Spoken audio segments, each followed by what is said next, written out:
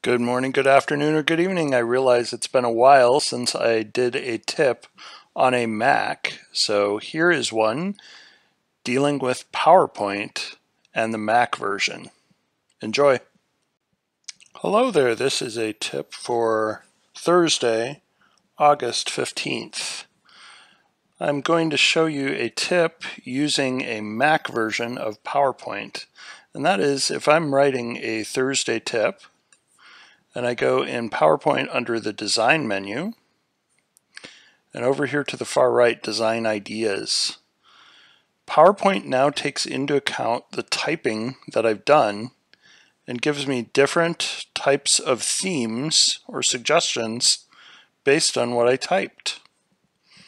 And then I can go ahead and use these as part of maybe creating a new slide. And let's say it's about how to use your MacBook. If I close and reopen the design ideas, these are going to give me a bunch more appealing visual ways to have the same content. That's it for today.